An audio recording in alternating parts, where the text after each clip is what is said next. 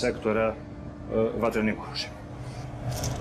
Hiljade komada se prosulo po stanovništvu, hiljade komada su donete u izbegličkim kolonama. U onoj sirotinji 95. godine trgovina i preprodaja vatrenog oružja zaduženog negde po Hrvatskoj, Bosni i na drugim mestima postala je ozbiljan biznis za ozbiljne ljude. Ozbiljni ljudi su počeli da se bave bazično dvema aktivnostima. Jedna je kupovina na crnom tržištu oružja za potrebe, što bi rekli policajci, vršenja krivičnih dela.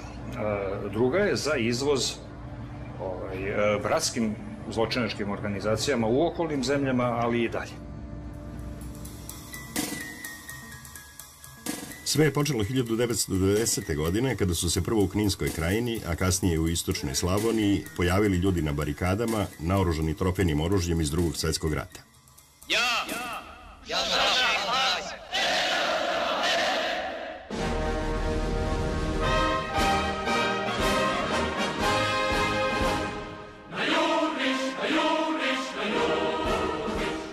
Zapravo sve to naoružanje poticalo iz Jugoslovenske narodne armije. Ona je po partizansko-hajdučkom principu da je dobro sve što puca, pažljivo sakupljala i čuvala kako ratni plen, tako i savezničku pomoć, čak i kada je počela domaća proizvodnja savremenog naoružanja. Sovjetski savez je samo do 1. maja 1945. zašto imamo pouzdanu evidenciju, isporučio nekakvih 120.000 pušaka Mosin Nagant i 30.210 automata. Uglavnom ove vrste ovaj, variacija špagina, znači M, M41. Drugo oružje, veoma popularno i koje je činilo simbol početka rata u Hrvatskoj, je bio Thompson M1A1.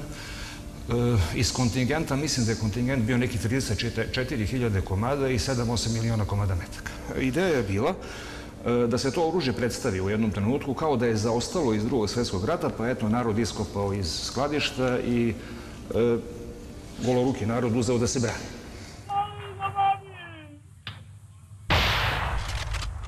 U stvari, najveći deo tog oružja stizao je krajiškim Srbima iz policijskih skladišta teritorijalne odbrane u Srbiji. Iza cele ove operacije stajala je služba državne bezbednosti MUPA Srbije, a naoružavanje se odvijalo izvan bilo kakvog institucionalnog okvira. To će reći da su se svi ovi Thompsoni i Špagini, ali i poneki Kalašnjikov, negde delili, negde prodavali, naročito u početku. Cene su dosezale i više od hiljadu nemačkih maraka po komadu. Novinarskim istraživanjima, recimo, ustanovili smo na bazi serijskih brojeva, recimo da su Thompson i M1 na 1 u istočnoj Slavoniji poticali iz skladišta rezervne milicije pokrajinskog supa Vojvodine u Futogu.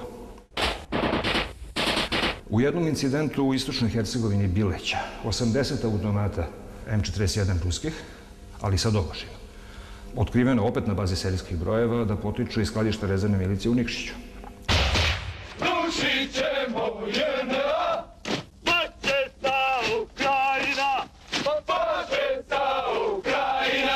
Istovremeno Slovenija i Hrvatska nisu sedele skrštenih ruku. Na crnom tržištu u Mađarskoj, tadašnja vlast u Zagrebu uspela je da nabavi više od 10.000 kalašnjikova za policiju i aktiviste Hrvatske demokratske zajednice, plaćajući ponekad za njih i petostruko više od realne cene. Šta se tiče oružja, oružja sad ima. No glad za oružjem i dalje je premašivala ponudu. U naoružavanje Hrvatske uključili su se i pojedinci iz dijaspore, Anton Kikaš, na primjer. Čovjek je skupio novac u Kanadi od Хрватски иселеника, отишо у Јужну Африку. Купио пушке, најверојатније со лажним, лажном потврдом о конечном корисник. Крцал у Ботсвани у еден авион Карго 707, на кој е био у Лјубљан, али у сарадњи со италијанското службом, наша обавештена служба успела да наговори италијане, да промене plan leta aviona i da ga upute preko Jadrana ka Zagrebačkom aerodromu, gde ga Jugoslovensko ratno vazduhoplovstvo dočekalo i ispustilo. Nađeno je 600 ovakvih pušaka i par miliona metaka i tromblonskih e, mina za te puške. Desilo se međutim u toj panici povlačenja JNA iz Zagreba, to je septembar 1991. da od 600 tih pušaka 360 nestane bez traga. Znam pozitivno da je jedna nuđena na prodaju u Čačku za 1200 maraka 93. 4. godine. Ovako je bilo u početku. Kasnije oružja bilo i više nego što je trebalo. Posle Dejtonskog sporazuma, mnogo veterana zadržalo je svoje puške. Kako se kriza na Kosovu nazirala, kriminalne grupe svih nacionalnosti počele su da otkupljuju zaostalo pešadijsko oružje u Hrvatskoj i Bosni i Hercegovini. Kad se otkupljuje tako od seljaka, on će dati svoj kalašnikov za recimo 70, 100, 150 maraka u vrglav. UČK će za njega platiti 250.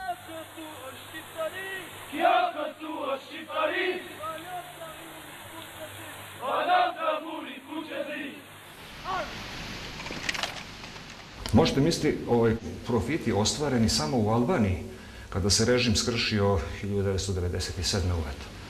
I kada su se na ulicama Tirane pojavile desetine hiljada, uglavnom kineskih verzija ovaj, kalašnjikova i poluautomatskih pušaka. Sve to oružje upotrebljeno je u sukobima na Kosovu 1998. i 1999. da bi sledeća njegova destinacija bila Makedonija u leto 2000. No, balkanski su se dileri oružja, kada je pala potražnja u samom regionu, okrenuli klijentima u drugim krajevima sveta, koji su u ostalom bolje plaćali. Reč je o terorističkim i mafijačkim organizacijama. Ustanovljene su veze, recimo, između španskih terorista i irskih terorista i hrvatskih trgovaca oružjem potpuno, kažem, kriminalnog porekla. E, ni fabrike tu nisu, nisu, je, nisu nevine, moram da kažem. E, I u Irskoj i u Španiji pronalaženi su pištolji hrvatske proizvodnje HS 2000, e, za koje se kasnije ispostavilo da su bili duplo ili čak trostruko numerisani. Tako da na, zahteve španske i, i irske policije, hrvatska policija radi provere i pronađe da taj pištolj postoji sa tim serijskim brojem, a ovi su ga zaplenili, ne znam, u Madridu. I to je jedan od najstarijih trikova mm, švercera oružja, naravno uz saradnju proizvođača, što ne bi smelo nikako. Ali e, nekih ubedljivijih pravnih posljedica nije bilo. Trgovina oružjem, legalna ili ne, na Balkanu je oduvek predstavljana kao patriotski čin. Izuzetno unosna, uvek je bila tesno povezana sa političkim i državnim strukturama i zato ne treba da čudi što u ovoj sferi organizovanog kriminala nije bilo ni spektakularnih hapšenja, ni presuda. Ipak, evropske integracije, za koje su se opredelile sve države u regionu, zahtevaju novu praksu u kontroli prometa oružjem. To je stvaranje jedinstvenih baza podataka i jedinstvenih metodologija praćenja e, streljačkog naoružanja kako među civilima, tako i e, službenog oružja. Ima tu jedan prvi jednostavan razlog. Pre svega treba sprečiti proizvođače da dvostruko ili trostruko numerišu isti primjerak oružja, što je inače vrlo česta praksa kod proizvođača. Druga stvar, da se vodi ovaj, striktna evidencija o zaplenjenom oružju, da se obavljaju sve komparativne analize na svakom zaplenjenom oružju i što je još važnije, da se zaplenjeni viškovi ilegalnog naoružanja ili ponovo zavode u evidencije vojske i policije ako ima nameru da ih koristi ili da se uništavaju, što je međunarodna obaveza naše države. Ilegalna trgovina drogama je globalni problem koji teško rešavaju i mnogo bogatije zemlje i mnogo organizovanije zemlje od bilo koje balkanske. Naše istraživanje je pokazalo da kriminalne grupe ne poznaju ni nacionalne, ni državne, ni verske, niti bilo kakve druge granice, osim onih koje zadovoljavaju interese njihovog posla. E, takva situacija je recimo pre izvesnog vremena dovela do toga da se čak i jedna ruta snabdevanja zapadne Evrope kokainom prevede preko Balkana. Tržište opojnih droga je, e, kao i svako drugo tržište, robe široke potrošnje e, i podleže istim zakonima ponudi i potražnje, e, postoji čak i marketing, Prema podacima Ujedinjenih nacija, godišnji obrat na ilegalnom tržištu droge iznosi oko 430 milijardi dolara. U osnovi reč je o proizvodnji, distribuciji i prodaji četiri glavne grupe narkotika – heroina, kokaina, kanabisa i sintetičkih droga. Tržište heroina nije najprofitabilnije, ali je zato najstabilnije i za Balkan najvažnije. 90 i nešto odsto heroina koji se potroši u Evropi potiče iz Afganistana. E, nešto malo se gaji u Turskoj, nešto malo se e, gaji u centralnoazijskim republikama bivšeg Sovjetskog saveza.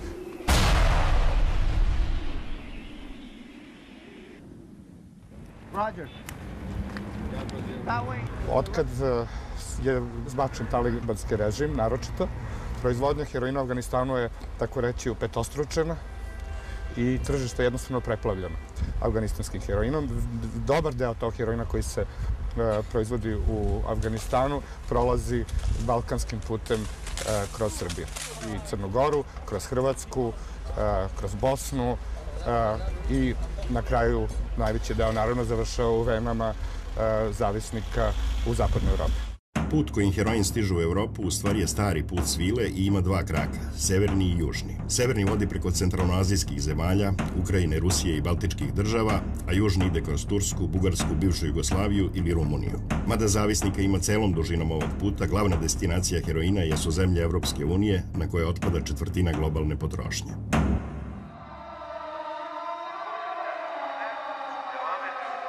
U Turskoj kilo heroina kad se kupuje tako na veliko, da se tako izrazim, e, kilo čistog heroina može da se nabavi za oko 5000 dolara. E, isto to kilo, taj kilogram heroina već u Austriji košta oko 40.000 dolara. Ipak ne zarađuje se toliko. U troškove švercovanja ovog kilograma heroina treba uračunati transport i podmićivanje na svim granicama, tako da profitna stopa na kraju iznosi oko 100 od 100. Mada za neki izgleda primamljivo, pokušaj avanturista da udvostruče 5000 dolara obično loše završavaju. Za amatere i za slobodne strelce praktično nema mesta i takvi brzo bivaju eliminisani, bilo tako što ih eliminiše organizovani kriminal, bilo tako što ih tipuju isti ti organizovani kriminalci policiji, tako da policija se rešava, uh, rešava njihov problem i odnosno uh, sprečava nelojalnu konkurenciju.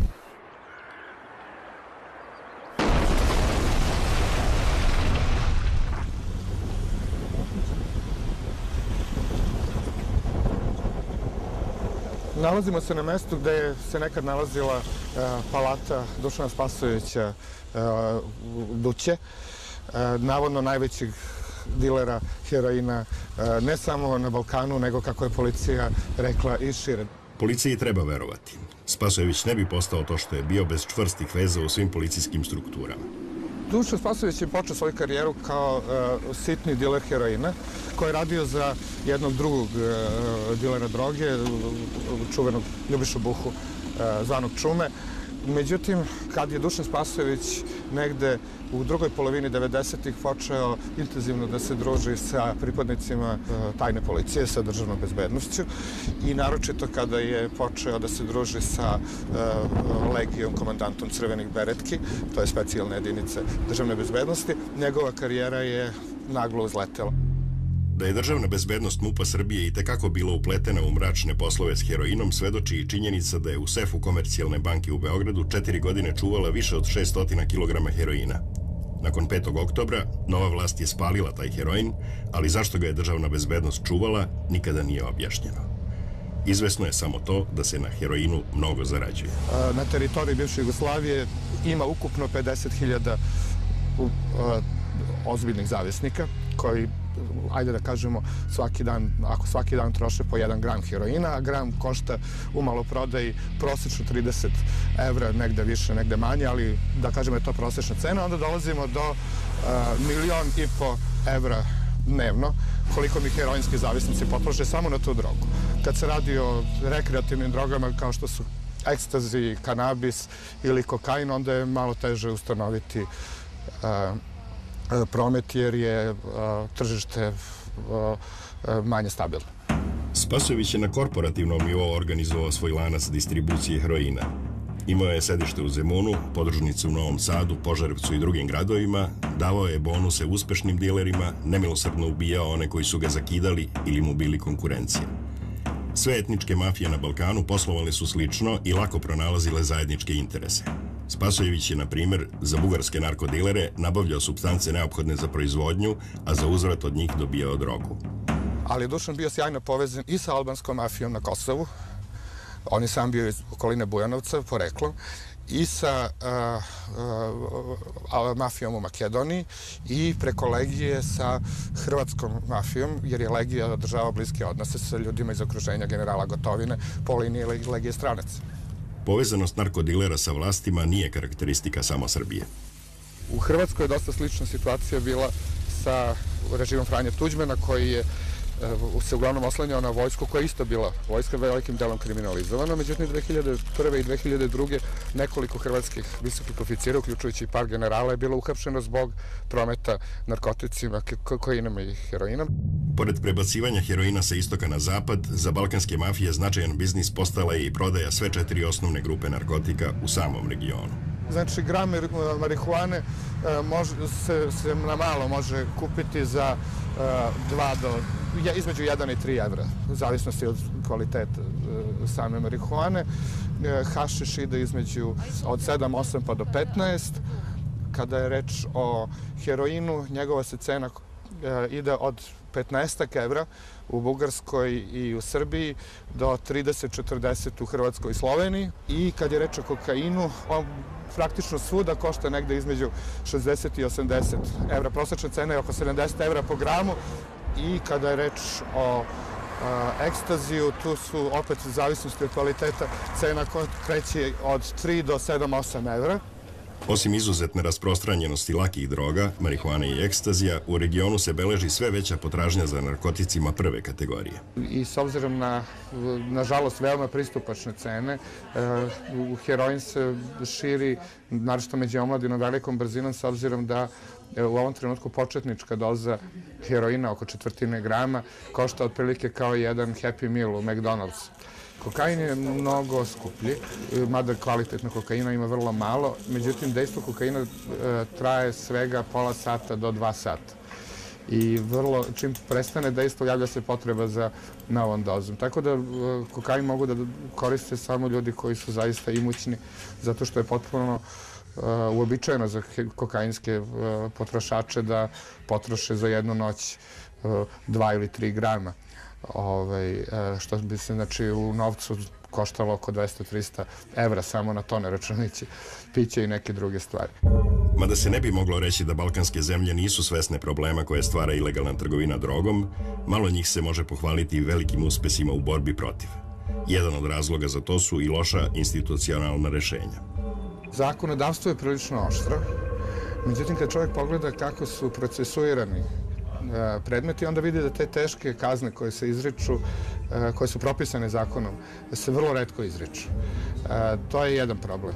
Znači, imamo konkretno čoveka u Hrvatskog bivšeg generala Andabeka, kod koga je nađeno skoro tona kokaina, i koji je dobio nekakvu uslovnu kaznu ili nešto tako zbog toga što je potpuno neverovatno. Kod jednog drugog oficira, kod, kod pukovnika Maglona, nađeno 10 kg heroina. On je čovjek na sudiju izjavio mrtav vladan da je to za njegovu ličnu upotrebu, zato što je narkovani sud je kao fol u to poverila. To je apsolutno neverovatno da neko sa 10 kg heroina može da prođe sa blagom kaznom kao jeli ima za ličnu upotrebu. Sa druge strane, znam slučaj e, jednog dečka iz provincije koji je popušio cigaretu marihuane na ulici i kad je već bacio, kad je završio, e, neki policajac ga je video, uhapsili su ga, na suđenju je za 0,2 grama marihuane koliko je nađeno u opušku. Dečko dobio šest meseci zatvora. Tranzicija, sporna politička pitanja i borba za primat država u regionu ostavili su narkodilerima izuzetno široko polje delovanja. E, iako se mnogo pričalo u zadnjih godina o dominaciji albanske mafije u trgovini narkoticima, to je u stvari tačno samo za distribuciju u ciljnim zemljama kao što su Švajcarska i Nemačka, gde e, kosovski albanci zaista kontrolišu dobar deo prodaje tamo. Međutim, da bi oni tu drogu prebacili do Švajcarske ili Nemačke, potrebna im je pomoć srpske mafije, hrvatske mafije, bosanske mafije, bugarske mafije, makedonske mafije i u tom smislu saradnja je e, među mafijaške, među grupama organizovanih kriminalaca još uvek mnogo bolja nego saradnja između policijskih i pravosudnih organa zemalja u regionu. To je jedan od najvećih problema. Zaštita arheoloških lokaliteta, kulturno-istorijskih spomenika i zbirki na Balkanu nikada nije bila velika. U ratovima 90-ih specializovane grupe pljačkale su spomenike kulture. Taj ratni plen uskoro se našao na tržištu. Mada Interpol procenjuje da na svetskom nivou ilegalni promet umetničkih dela težak oko 2 milijarde dolara godišnje, tačnih podataka nema. Zvanično, države Balkanskog regiona ne nalaze se ni blizu vrha liste zemalja s najvećim brojem ukradenih i preprodatih umetničkih dela i arheoloških nalaza. Nezvanično predstavljaju zlatni rudnik za ovaj segment organizovanog kriminala. Odgovor na pitanje gde se šta kupuje na Balkanu vrlo je kompleksan iz prostog razloga što je Balkan prostor preko kog su prošli zapravo svi mogući osvojači sa svih mogućih strana sveta. I mi znamo da je to bilo i Rimsko carstvo, i Vizantija, i svi mogući varvarski narodi koji su prelazili znači, na, na svom putu dalje ka zapadnoj Evropi. Znači, zapravo sve te civilizacije su ostavljale nekakav trag širom Balkana, u čitavom regionu, znači i u Makedoniji, i u Srbiji, u Rumuniji i tako dalje i tako dalje. Ipak svaka zemlja u regionu ima i svoju specifičnost od interesa za krijumčare umetnina. Rumunija je najpoznatija po svojim novčićima. Isto tako u Bugarskoj su velika nalazišta srebrnjaka i zlatnika. Srbija je tu raznolika. Srbija ima i, i e, nekakve keramičke artefakte, i grobnice, i nakit, i srebrnjake i tako dalje. U Makedoniji pre nekoliko godina je ovaj, otkrivena velika e, neka bronzana kompozicija. Mada se ne može govoriti o nekom profilisanom tržištu, dobro se zna šta i gde se isplati prodavati. Recimo, Engleska je poznata kao tržište za artefakte islamske kulture i za ikone. U Nemačkoj se prodaju antički satovi najbolje, dok je recimo Švajcarska neka vrsta Eldorada za sve te e, trgovce, zato što su oni do pre par godina imali vrlo liberalne zakone i onda je Švajcarska tu bila kao nekakva raskrsnica, a ovo sve ostalo se onda razbijalo po različitim pijacama i različitim tržnicama. Mogućnost da se arheološki nalazi dobro unovče, ukoliko se mogu iskopati u ataru svog sela, dovela je do procvata takozvane divlje arheologije. Šta se dešava? Ja, na primjer, imam njivu. u mom selu postoji diler, postoji organizator koji putuje po razno raznim selima, dogovara se, pregovara sa seljacima i tako dalje. Taj diler meni da metal detektor i ja krenem da kopam ja njemu metal detektor kroz ono što ću mu dati isplatim već za neka dva meseca. Detektor ostaje moje vlasništvo, a ja u isto vreme imam razvijenu saradnju sa tim dilerom i sve ono što iskopam ja njemu prodajem za nekakve pare koje su za mene velike, ali koje će onda u desetostruči na zapadnoevropskom tržištu.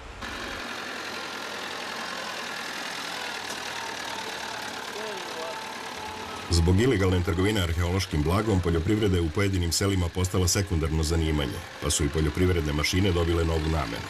Tako je razvijen i takozvani arheološki traktor sa prevrtaljkom. U pitanju je ruski traktor marke Ursus koji kopa do 80 cm dubine. Treba napomenuti da pri regularnim poljoprivrednim aktivnostima kopanje ne ide dalje od 30-40 cm. Znači oni zapravo, zahvaljujući tom traktoru, prodiru u nivoje zemljišta koji su do tada bili netaknuti. Zahvaljujući tim traktorima, novinari ovdašnjih medija su više puta zaticali recimo u selima oko, oko Požarevca čitave familije kako idu za tim traktorom s, pre, s prevrtaljkom i naprosto tragaju šta je on to sve iskopao. Nekad u toj grupi ljudi koja ide za traktorom postoji oni koji imaju metal detektore. Znači vidimo ujedinjavanje te tehnike. Znači idemo, prevrćemo zemlju, neko ide s metal detektorom i traga za novčićima, za nakitom, za već stvarima koje su zanimljive dilerima i trgovcima zapadne Evrope. Ono što pronađu i odnesu divlji arheolozi neće biti uništeno i neko može reći da od njihovog posla možda ima i vajde u potrazi za novčićima, u potrazi za nekakvim zlatnim nakitom i tako dalje, ljudi će da unište, na primjer, jednu rimsku grobnicu ili, na primjer, nekakvo, ne znam, avarsko svetilište i naprosto će uništiti kontekst u kom je to delo nađeno i to uništavanje zapravo sprečava bilo kakve naučnike ovog ili budućeg doba da saznaju bilo šta o toj civilizaciji koja je na tom mestu ostavila trag.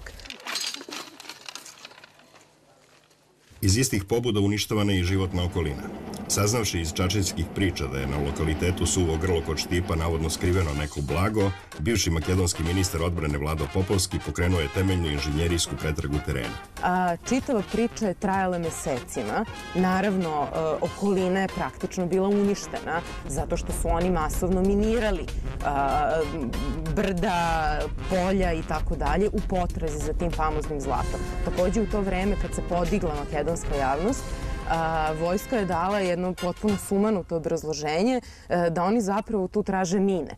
Mislim, ali na, naprosto nije logično kako ti minama tražiš nekakve mine. Prosto bilo je jasno da tadašnji ministar odbrane traži to neko zlato.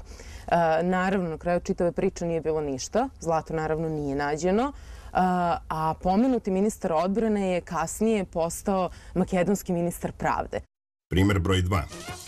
Bivši načelnik generalštaba Vojske Jugoslavije, general Nebojša Pavković, došao je 2000. godine na misteriju za način do informacije da se na lokalitetu Šuplja stena kod Niša nalazi zlato vizantijskog cara Vasilija. I metodi i rezultati potrage generala Pavkovića i ministra Popovskog bili su isti. Ali vrlo bitno je naglasiti znači da je u obe te priče učestvovala vojska i da recimo u slučaju da su u šupljoj steni, odnosno u suvom grlu u Makedoniji bili nađeni nekakvi artefakti, to bi zapravo bilo uništeno nalazište. Zato što tamo gde pređe tank, mislim, tamo trava ne raste. Tranzicione bolesti većine balkanskih zemalja dodatno omogućuju ilegalnu trgovinu umetninama. Redke su države koje imaju e, dobro organizovane policijske jedinice, odnosno jedinice u kojima postoje ljudi koji su stručni e, za ovu vrstu e, organizovanog kriminala. U tom smislu čini mi se da da su svetli primeri možda Rumunije i Bugarska, Ali uprkos policijskim uspesima, ni Bugarska ni Rumunija ne mogu se pohvaliti velikim brojem osuđenih krijumčara umetničkih dela i arheoloških nalaza. Srbija je opet poseban slučaj. Policijsko odeljenje za borbu protiv ilegalne trgovine umetninama je rasformirano, a njegova nadležnost preneta je na upravu carina. Međutim, e, radeći na, na ovom projektu, e, ja sam od nadležnih upravi carina e, dobila odgovor da to jeste jedinica za, za tu vrstu organizovanog kriminala, ali to je više neka kao jedinica. Tako da, mislim, već i ta formulacija dovoljno govori koliko je čitava ta stvar efikasna. A da je efikasnost i tekako potrebna, svedoči i slučaj avarskog pojasa koji je neki seljak iskopao oko Sremske Mitrovice. Avarski pojas e, je pojas avarskog kagana. Sačinjen je od recimo nešto više od kilogram zlata e, i optočen dragim kamenjem. Procenjena vrednost ovog artefakta je negde oko milion evra, mada neki eksperti tvrde da bi na zapadnoevropskom tržištu njegova vrednost bila desetostruko više. Lokalni diler arheoloških predmeta Mitke Simeunovski obećao je seljaku 120.000 nemačkih maraka za tek pronađeni avarski pojas. A onda se u Sremskoj Mitrovici pojavio drugi zainteresovani diler. On, navodno besan, što mu je prosto to ispalo iz ruku, eh, alarmira policiju. Policija dolazi na lice mesta i zapravo hvata Mitketa Simeonovskog eh, i seljaka koji je iskopao taj avarski pojas, onako, sa sve pojasom u rukama. Znači, taj avarski pojas je posle toga dospeo u Narodni muzej, eh, a krivci su dospeli na sud. Međutim, čitava ta priča, traja, sudska priča, trajala je godinama i glavni akteri osuđeni su na simbolične uslovne kazne. Ratovi u bivšoj Jugoslaviji otvorili su posebno poglavlje kako pljačke, tako i uništavanja umetničkog i arheološkog blaga. Primer e, Pakračkog vladičanskog dvora, čija je biblioteka potpuno uništena i gde su se pojedine knjige pojavljivale na zapadnoevropskom tržištu po ceni od nekoliko hiljada maraka. Postoje čak i svedočanstva da su hrvatski vojnici koji su tamo došli i te knjige palili, prosto su se grejali na, na, na plamenu napravljenu tih knjiga. I takođe, recimo, zanimljiv je primer e, Franjevačke teologije u Sarajevu, zato što su u junu mesecu 1992. E, prema tvrdnjama svedoka u, u, u taj Franjevački samostan ušli e, pripadnici Belih Orlova i zapravo u roku od nekoliko dana odneli sve ono što je odatle moglo biti odneseno. Zanimljivo je takođe da su se e, umetničke slike koje su iznošene iz privatnih zbirki, iz muzeja, e, nekako nacionalno, ovaj, nacionalno delile. Ukoliko je recimo bila ukradena slika srpskog slikara, ona je završavala na tržištu u Srbiji i Crne Gore. Ukoliko je bila ukradena slika hrvatskog, ona je naravno završavala u Zagrebu.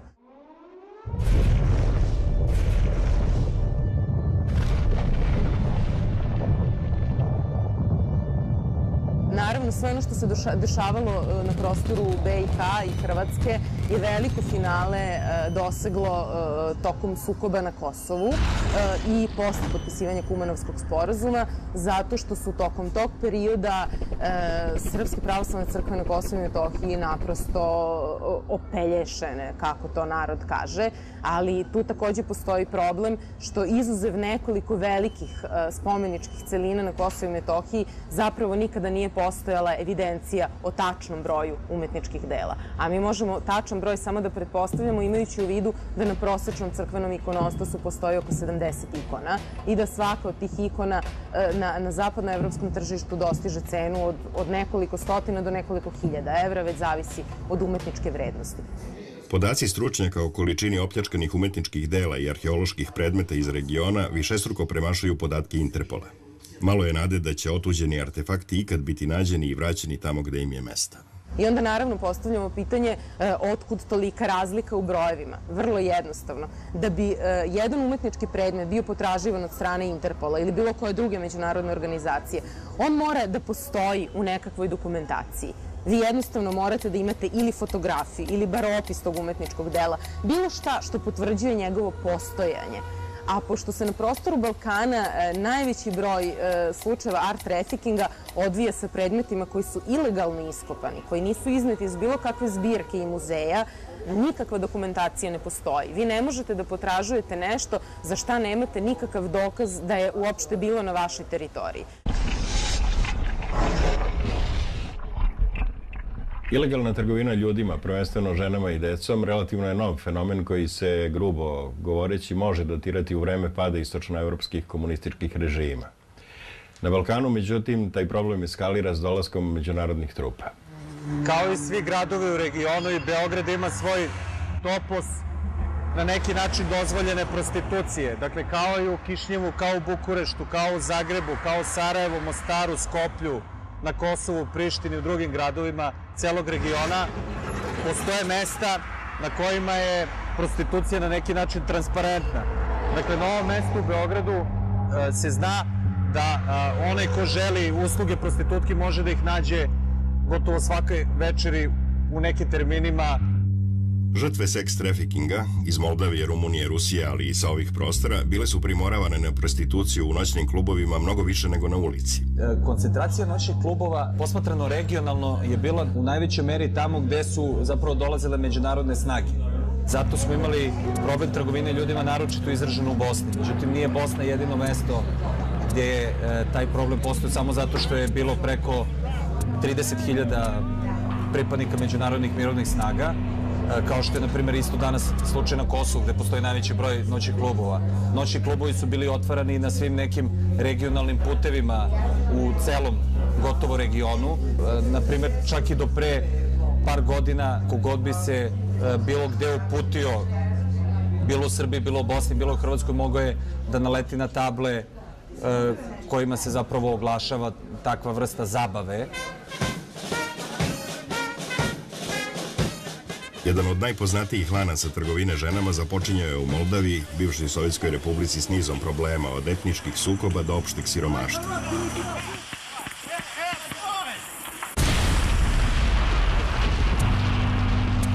Jedna ekipa bi regrutovala devojke u, u Kišnjevu najčešće i to tako što bi im predlagali da pođu na zapad trbuhom za kruhom, što bi se reklo, i da traže neki pristojan posao kao frizerke, kao igračice, kao babysitterke. Ponekad se dešava da tu regrutaciju uh, urade i oni koji su im najbliži, dakle njihov dečko ili možda neki njihov rođak uh, koji im uh, proda tu lažnu priču o dobrom poslu uh, van granica matične zemlje. Međutim, čim bi prešla u Rumuniju, one bi bile zapravo u, u lancu koji ih je dalje vodio ili preko, legalno preko granice sa Srbijom ili Dunavom, tim nekim ilegalnim prelazima u Srbiju. Devojkama bi u Srbiji Makroji oduzeli dokumente i uskoro bi nakon teškog fizičkog i psihičkog maltretiranja postale robovi u punom smislu te reči. Potom bi usledila prodaja, poput roblja u Starom Rimu ili na američkom jugu u 19. veku.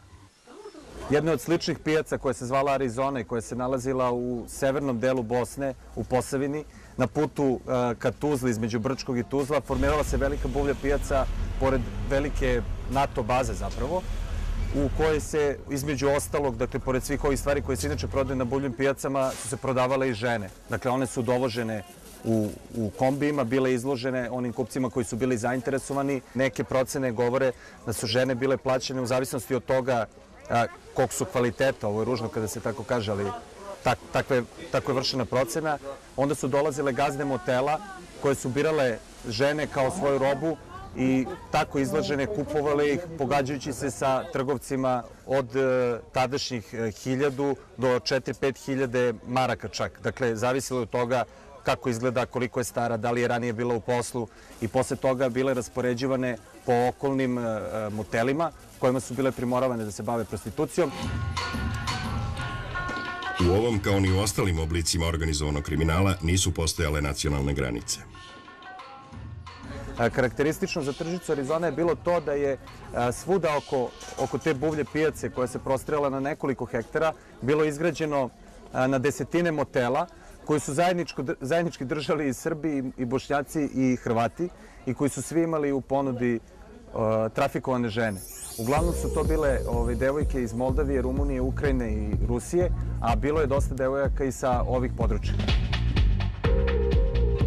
Za ove žene robove gotovo da nije bilo izlaza iz situacije u koju bi zapale. A, Gazda bi kupio devojku, držao je neko vreme, primoravao je ponekad da, da, da, da spava i sa više od 15 ljudi tokom noći.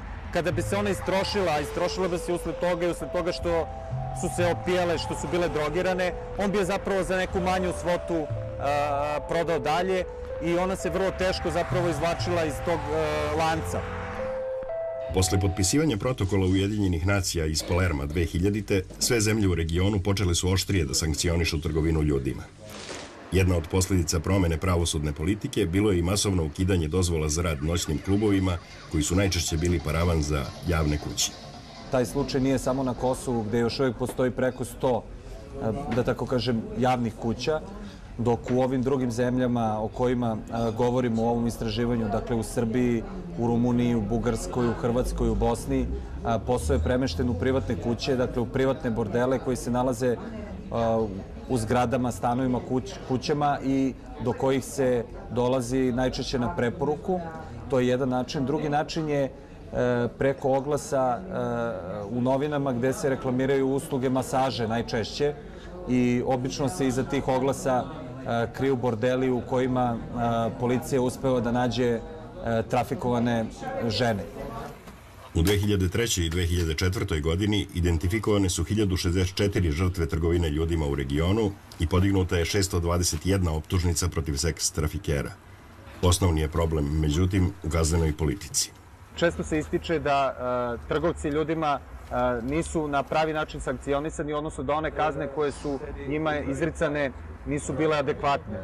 Procenjuje se da bi neki od tih postupaka, da su neki od tih postupaka zapravo zasluživali teže kazne zatvora, a možda u nekim slučajevima i oduzimanje imovine koja je stečena trgovinom ljudima. Malobrojnim žrtvama trgovine ženama uspeo da se oslobode